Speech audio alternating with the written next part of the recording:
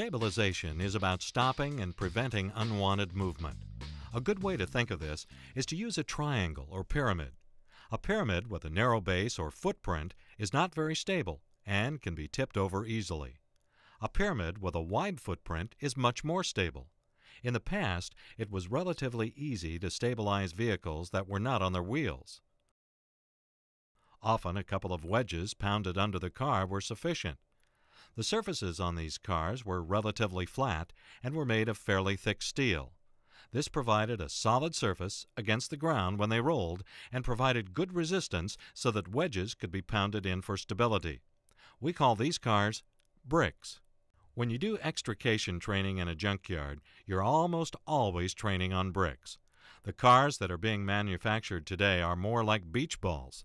Sides and roofs are thin steel or plastic, which act like springs when they roll and bounce. They're very round, which causes these vehicles to have a narrow footprint when they end up on their sides or roofs. Wedges are often absorbed by the dent resistant panels, which eliminates their effectiveness.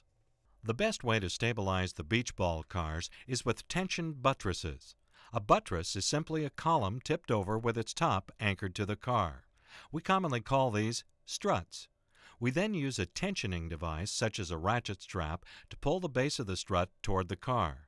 This compresses the strut between the car and the ground, applying force against the car in both a sideways and vertical direction. The flatter the strut angle, the more side force, while a more upright strut applies more vertical force. Using two or more struts on opposite sides of a car causes these forces to cancel each other out and squeeze the car like a vise.